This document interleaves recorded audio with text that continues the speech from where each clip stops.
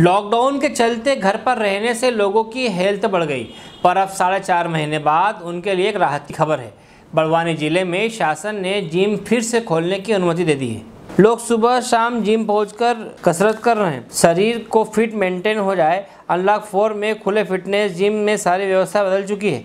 नई गाइडलाइंस का पालन करते हुए संचालकों ने व्यवस्था की है। सोशल डिस्टेंस के कारण शिफ्ट की संख्या में भी बढ़ोतरी हो गई है।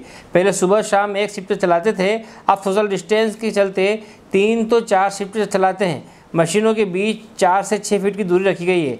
मासिक फ़ीस में कोई बदलाव नहीं किया गया। हालाँकि अभी लोगों में संक्रमण का डर है। इस कारण अभी जिम में कम लोग ही आ रहे हैं। बड़वानी से अतुल कुमाउत की रिपोर्ट।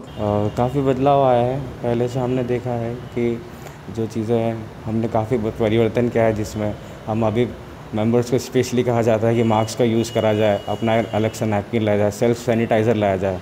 ताकि और जो बाहर के शूज़ होते हैं वो फ्लोर पे अलाउ नहीं किया गया। स्पेशल आप शूज़ कैरी करके लाइए। ये राह दी हुई है अभी।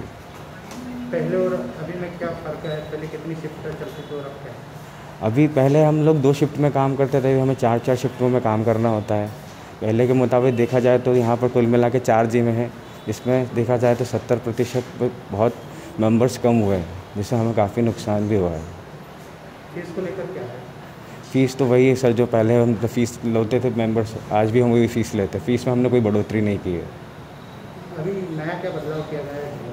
नया जिमों में बदलाव क्या है स्पेशली जो बच्चों को देख रहा है ठीक है? राय दी जा रही स्पेशल समझाया जा रहा है कि जब भी घर से जिम के लिए निकलते हैं तो अपना एक नैपकिन लाए स्पेशली पानी का बोतल अलग से लाए ठीक है? सैनिटाइज़र का उपयोग करें ये सब चीज़ों का हमने बना गया है। स्पेशली शूज़ का बोला गया जो फ्लोर पर बाहर के शूज़ अलाउ नहीं किए गए ताकि जो एटमोसफेयर है वो काफ़ी ऑर्गेनिक है हम बात करें सोशल डिस्टेंस की तो किस तरीके से मेंटेन किया जाए? सोशल डिस्टेंसिंग की बात करें उस हिसाब से हम लोगों ने जितने भी जिमिंग इक्विपमेंट हैं उनको अधिक अधिक एक एक दूरी के स्पेस पर रखा गया है जहाँ से अधिकतर मेंबर आपस में न टकराए सोशल डिस्टेंस का मेंटेन किया जाए। देखते हुए हमने सारे विषय को दूर दूर किया गया है।